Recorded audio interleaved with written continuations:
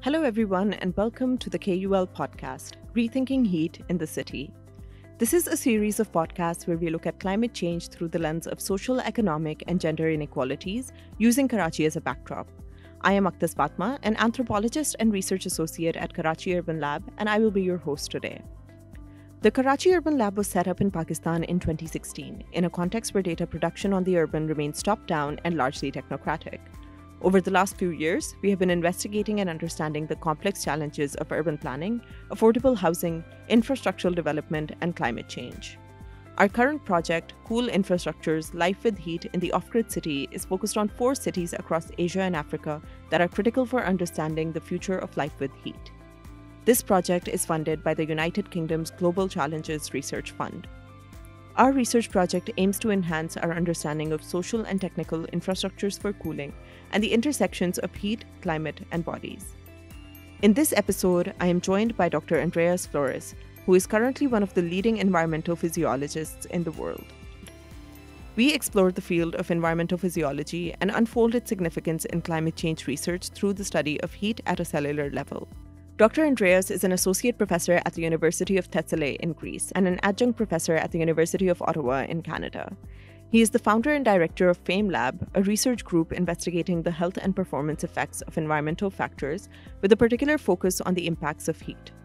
Dr. Flouris is a partner in a series of large international projects in Europe and North America, and he has published widely on the effects of different environmental factors on human health, productivity, and performance. He is currently participating in several working groups tasked to develop prevention measures, which are aimed at reducing the impacts of environmental factors for workers, athletes, and the general population. These working groups include the World Health Organization, the International Labour Organization, and the Greek Ministry of Labour. Welcome, Dr. Andreas.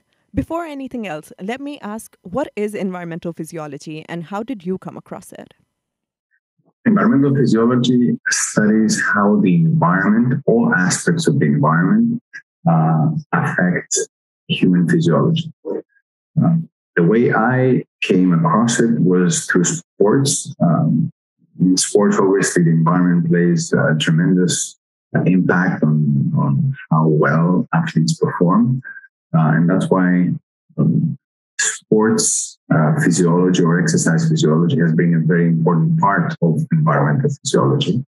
I would say the main two pillars of environmental physiology have been from the sports side and also from the occupational and military side. These are the two main activities of humanity that uh, have really looked at how the environment impacts physiology.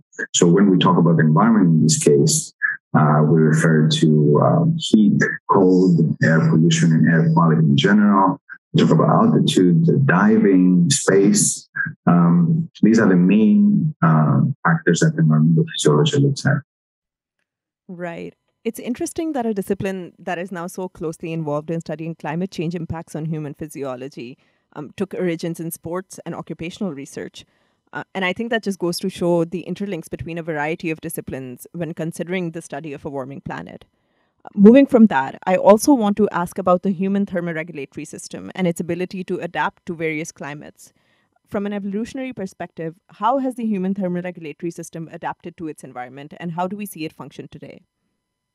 Well, our thermoregulatory system, this is something that uh, not everyone is aware of. Uh, in fact, we owe our position today in the, the, balance of species on the planet on the thermoregulatory system. Um, one of the main theories of our evolution as a species, of humans as a species, is that we managed to um, evolve the way we have by eating meat. And this, is, this has helped our brain to um, get larger, and that's how we got smarter, really. But how did we manage to eat meat, uh, a species that doesn't have that much strength? We don't have claws, we don't have uh, long and, and, sharp teeth. Uh, how did we manage to, to um, you know, um, fight these, these predators, other animals, and kill them and eat their meat? Well, what we did manage to do uh, and that's what scientists have managed to find out in the last few decades is that we went out as a herd and we just ran animals to death. Uh, we just made groups of 10 or 20 people and we started running uh, towards animals, towards, uh, uh let's say, uh, a group of giraffes or another large animal that we currently, as, as an individual, wouldn't be able to hunt. And then we just run and run until the animal basically die. And the reason why we were able to do that was because our thermoregulatory system adapted in a way that it allowed us to, to sweat. Um, there are very few animals on the planet that have the ability to sweat. Uh, other than humans, only a few hoofed animals like horses can sweat, and also some primates uh, can sweat, but not all of them. So we are, um, a lot of people don't like sweat, and we buy uh, products to avoid it, but it is really what has allowed us, the ability to sweat has allowed us to be who we become, who we have become uh, on, the, on, on this planet. So this has played an important, thermoregulatory system as, as a whole has played an important role on, on, on our evolution. And it has also allowed us to be able to survive nearly every habitat on Earth. Uh, there's not any other species that has managed to survive uh, in all the habitats of Earth except us. Um, so the thermoregulatory system is one of the main components of our physiology that has played a role in this perspective. Yeah, I think the one thing I remember studying related to that was the endurance running hypothesis. Um, and that basically linked our transition into bipedalism and the loss of body hair with our ability to use fire, um, not only for consuming meats, but also to gather warmth, which eventually allowed us to cluster into communities. And of course, the loss of hair also has implications on how we regulate temperatures in our environments. So, physiologically, what are the mechanisms through which we regulate body temperatures aside from sweating? Well, it depends. That's a very good question. It depends. Um, sweating is certainly um, by far the most important uh, mechanism we use when we uh, perform physical work, which means when we do household chores or when we walk outside, when we do sports. So, whenever our muscles are active, uh, sweating is by far the most predominant and important uh, pathway to get rid of this heat that is being built in our, in our body because of metabolism. But on the other hand, when we are just relaxing at home, watching TV, or just uh, eating, or you know, being passive in general, not being very active, uh, then in those cases, there's another mechanism uh, of what we what we call blood redistribution. Um, so what what our body does in this case is uh, it shifts the blood from some of the organs, like intestines, for example. It shifts the blood to the um, to the skin. For example, if we are wearing um, watches or rings in our fingers, uh, we would see our we would notice that our uh, they're starting getting constricted because our our fingers are uh, swelling.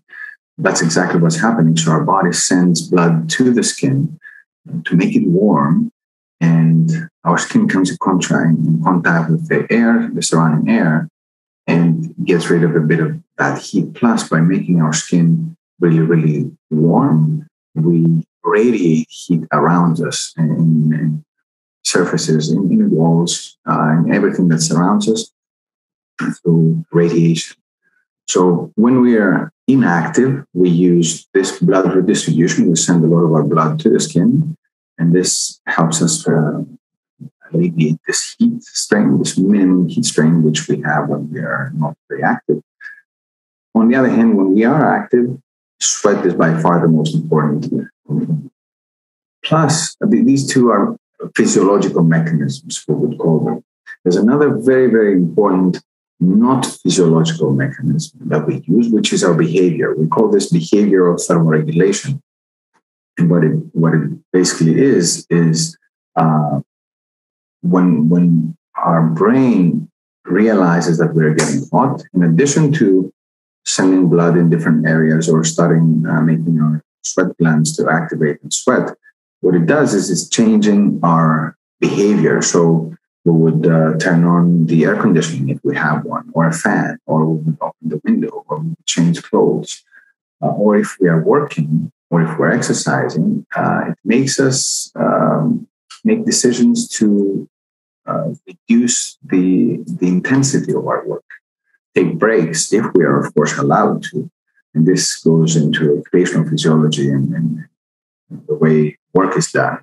If we're in sports, an athlete would tell you, for example, oh, today uh, my, my legs felt uh, heavy. But in fact, what was happening was uh, his or her brain was telling them to slow down because they're getting really hot. The same happens for a worker. And if the worker is allowed to, they take breaks, and the brain normally would protect us from uh, getting uh, heat illness. But of course, there are cases both in sports uh, and in uh, physiology, as well as when we're not active, when these mechanisms, the physiological and the non physiological, the behavioral um, mechanisms, are not enough to protect us from, uh, from heat injury. Right. So, taking from what you just described, I think the conversation we need to emphasize now is how far can thermoregulatory systems, whether behavioral or physiological, be stretched? What is the threshold at which your body can no longer accommodate ambient heat?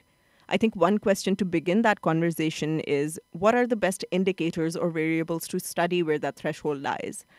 In our current project, we're using a variety of equipment that gives us a range of thermal stress indicators, and that includes temperature, humidity, heat index, wet bulb globe temperature.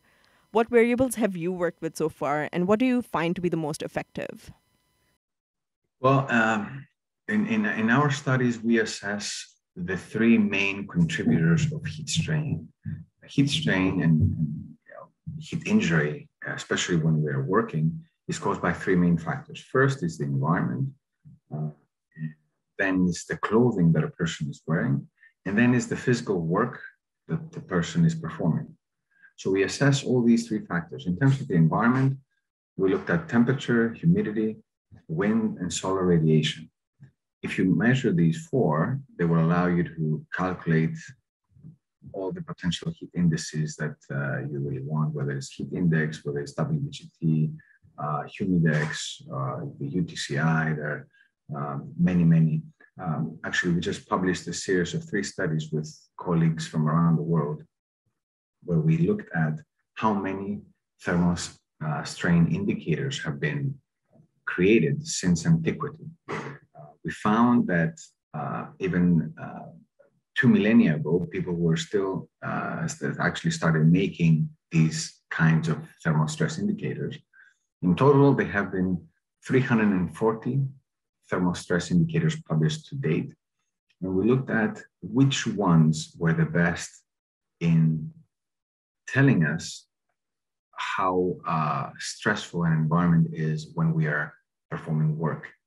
And we saw that when, it, when we are dealing with workers in, in occupational settings, uh, we found out that WBGT, uh, the wet bulb globe temperature, is uh, the, the best one, followed by the UTCI, the Universal Thermal Climate Index, and then uh, a few others. Uh, so, in terms of the environment, uh, we propose WBGT, but we assess all four factors temperature, humidity, wind, and solar radiation. Then in terms of clothing, we looked at the color of the clothing that the person is wearing. We looked at the thickness of the clothing, the texture. All these give us the insulation uh, of the clothing, but also we look at fit because constricted clothing tend to be um, tend to change the way they they affect heat stress compared to clothes that are uh, more loose and they allow air to go in and out uh, through them. And the third factor, as I mentioned before, is the, the physical work that the person is performing.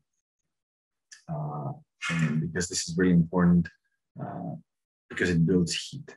Uh, I'm sure everybody understands that when somebody is, let's say, watching TV or cooking or working on the computer, they're not um, building a lot of heat inside them. Their body and their muscles don't produce a lot of heat compared to a person uh, carrying uh, something very heavy or doing some kind of uh, work, digging or uh, some, you know, climbing stairs, for example, uh, running. These things, these activities produce a lot of heat inside us.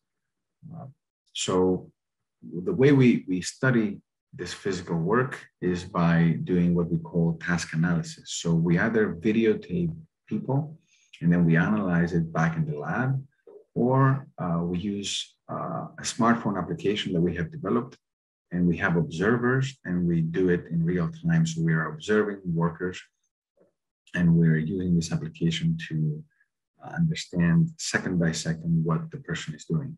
So we put all these data together, the environment, the clothing, the physical work, and uh, so that we can understand the heat strain that the person is experiencing at the given point in time. So there does exist a lot of categorization to determine vulnerability to heat, right? Like you said, was it 350 thermal variables that have existed? 340, yeah. Oh, 340. But I imagine the way these variables have been conceptualized and been put to use has also varied, right? You said wet bulb globe temperature was a strong determinant in the studies you have conducted. But even with that, there has been debate over what degree or value needs to be understood as the threshold of human survivability. Um, can you tell me a little about the significance of this value and how do you assess its validity across contrasting environments, say from Europe to South Asia to sub Saharan Africa? Indeed, that is a, an, an, excellent point. First of all, it's really important to understand that we are now living in a in a time that where technology allows us to conduct experiments that scientists a few decades ago couldn't even imagine. So when the WBGT was developed in the 50s and 60s, um, you couldn't go to the field and perform uh, measurements. You could perform observations, but not real measurements of core temperature or skin temperature or heart rate. So, first of all, it's important to acknowledge that when these indicators uh, were developed, we couldn't really assess their validity in, in the field because we couldn't perform any measurements. Uh, now we're starting to do these studies, as uh, the one that I just talked about, to assess the validity. And that's how we managed to find that WBGT seems to work better than, than most others. Um, this is something very new, uh, couldn't do it before. Um, we now know, at least for occupational settings, that WBGT is performs best. It's still not perfect. It's far from perfect. In fact, uh, we we saw that um, the way we validated it was we asked a group of 20 scientists to give us their criteria of what they think is more important for a, a thermal strain indicator to have. And WBGT did come on the top, but it satisfied 55% of these criteria. So you understand that it's far from perfect. Uh, there's a lot uh, of room for improvement, but uh, is the, the best tool we have right now.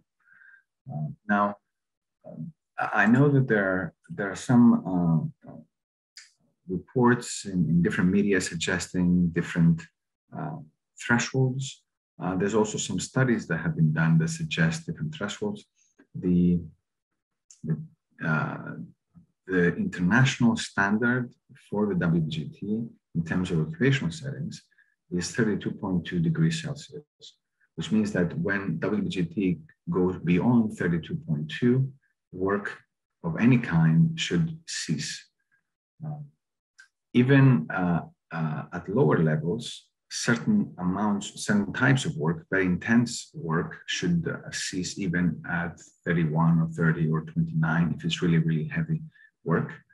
And then at 32.2 is the maximum. There, you shouldn't be doing any kind of work. Even, even walking around should be avoided.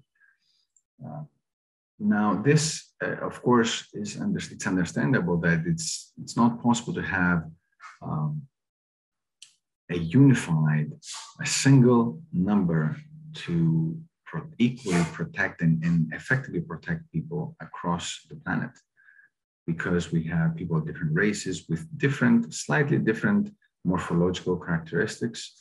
certainly different cultural characteristics. They also perform different types of work. Uh, also, we have different climates. Uh, some climates are more uh, humid, some not, uh, some more windy. Uh, there's different latitudes where you have different levels of solar radiation. So certainly, uh, although WBGT does take into account all four main factors of the environment, still it's normal that one single number shouldn't will not effectively protect everybody in some countries, for example, in Singapore, they, the highest level of protection, uh, uh, actually, I would say the highest level where you can do work has been set at 32.5. Uh, in other countries, like in Qatar, it has been set at 32.2. The same is for Greece. Uh, in, in, in some other countries, uh, like more northern countries where people are not very uh, accustomed to heat, we see thresholds as low as uh, 31.5 or uh, 31.8.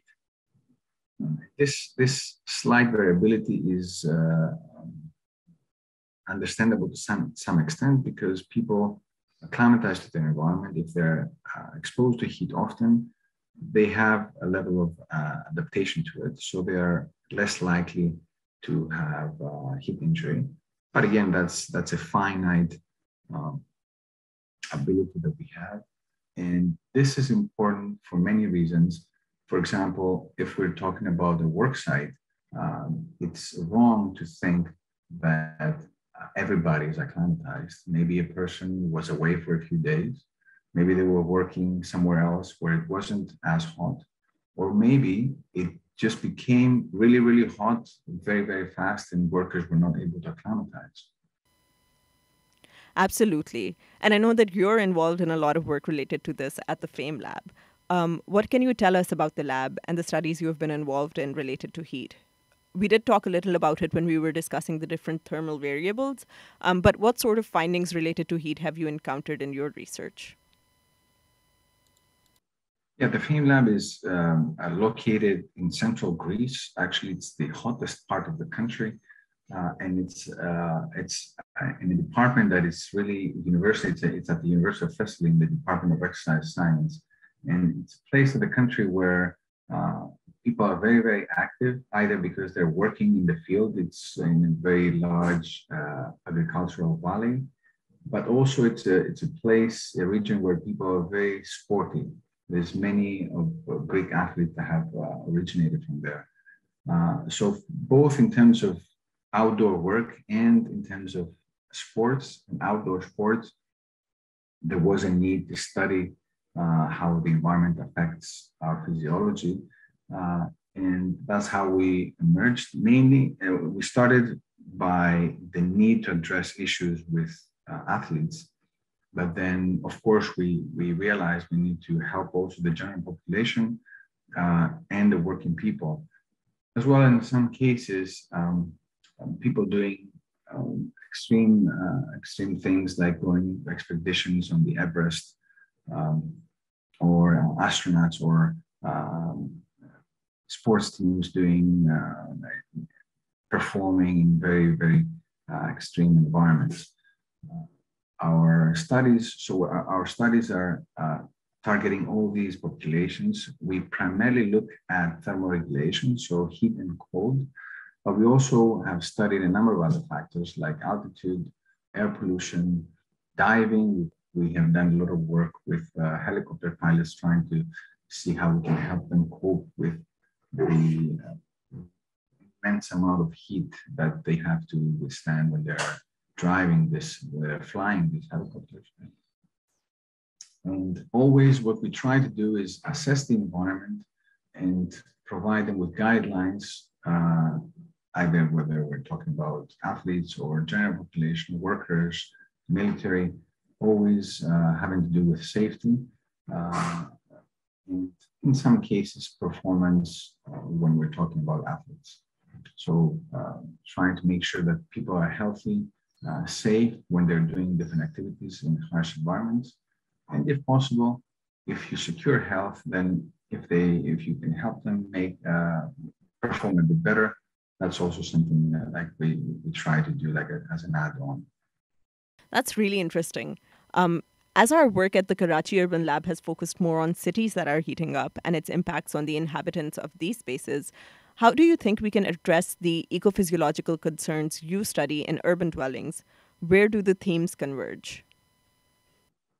Absolutely. Uh, there's, a, there's a major uh, overlap of these, uh, these themes. For example, when we're looking, as you said, uh, urban settings, obviously we have the urban heat islands where heat is much more intense uh, during the day, but also during the night. And then coupled with that, you have air pollution, which uh, is the, the impact of air pollution when it's hot is increased because one of the mechanisms that uh, our uh, physiology uses is it increases the um, respiratory rate uh, when it's hot. So one of the reasons, uh, one of the mechanisms that we try to, to use to uh, get rid of heat by breathing a little bit uh, harder. Also, we breathe a little bit harder because the work is tougher when we are working in a hot environment because we have shifted all our blood, not all, not all, but a large amount of our blood to the skin. Then our muscles don't have as much blood as they need. So the same work seems to be uh, more, seems to be tougher. That's why we breathe heavier. And when we are doing this work in a polluted environment, it means that we breathe in a lot more of these air pollutants or a lot more of this dust. So there's definitely uh, um, sort of a double threat when you are exposed to the heat, uh, especially coupled with the urban heat island effect, and this the the air that you're breathing is polluted either with dust or with uh, other particles. Um, this would cause you to have both um, increases the risks for uh, heat illness, but also for acute and chronic respiratory disease. Absolutely. And I think that is something we do see a lot in our work as well. Um, a very common response from people is that they feel suffocated or they're unable to breathe in the heat.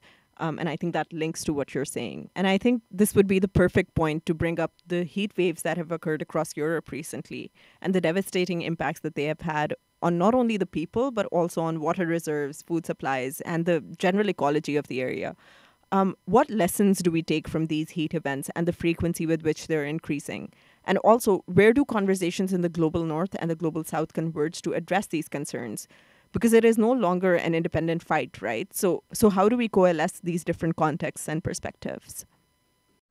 This summer has been an eye opener for Europe, uh, and it's really relevant to, to your question.